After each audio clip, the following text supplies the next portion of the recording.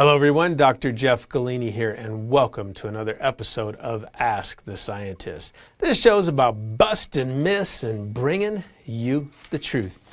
Hey, uh, my friend William, uh, this came in from an email um, and said, Hello, doctor. I am a recent uh, customer. I'm vegan and immediately got impressive results uh, taking your product. Um, my reps went up, felt better, and he goes on just to, to praise the EFX Sports Kre-Alkalyn. William, first of all, I'm so grateful that you liked it. That's why I give out free samples, and I always say you should never buy a supplement before you can take it for a test drive. So anyone who wants to try Kre-Alkalyn, go to efxsports.com, get you a free sample. But anyhow, William's question is, um, he's been experiencing a little bit of insomnia. Um, and he's not sure if this is coming from the Kre-Alkalyn creatine or something else. So he wanted my opinion.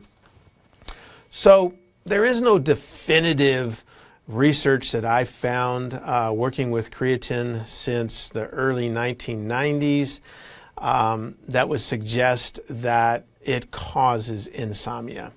Now, remember that creatine is so important that our body produces it. Without it, we cease to exist. Exactly. So your body is producing a good amount of creatine all the time. You're getting creatines from your meats. This is what kicks in runs your whole ATP uh, energy cycle. Now, your brain does store creatine. So there is some uh, research that suggests that, you know, again, your brain could be active. Um, it may uh, wake you up uh, and you may have some trouble going back to sleep. But again, in the last 25 or 30 years working with creatine, I've never had one person report saying that, you know, taking Kre-Alkalyn or any type of creatine monohydrate um, caused them not to be able to sleep. I have been taking Kre-Alkalyn since I invented it for years and years and years, and I sleep like a baby. So, my friend, I'm probably going to say it's not the Kre-Alkalyn. Um, it could be stress. Um, it could be you're just thinking too much.